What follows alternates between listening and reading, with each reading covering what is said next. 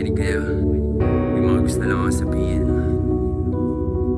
Pilipinas ang bayan kung sinilangan. May tatlong bituin at isang araw pero di tayo sinisinagan. Nananatili sa dilim kahit mulat na ang mga mata. Bukas ba natin ang bibig ang pandinig nila'y nakasara.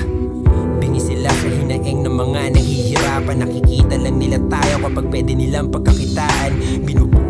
Nila tayo kapag may gusto silang siraan Kumakampi lang sila sa atin para sila ay ating ilaban. Tayo ang hinaharang sa harapan ng kalaban at pinapahamak Lumiliit ang mundo natin habang lupa nila'y lumalawak. Tayong nagbubuwis ng buhay pero sa tagumpay sila humahawak At matapos ang lahat. Hindi sila marunong magpasalamat. Puro palabas lang ang kanilang pampalubag ng loob. Binobola lang nila tayo para tayo'y mapasunod.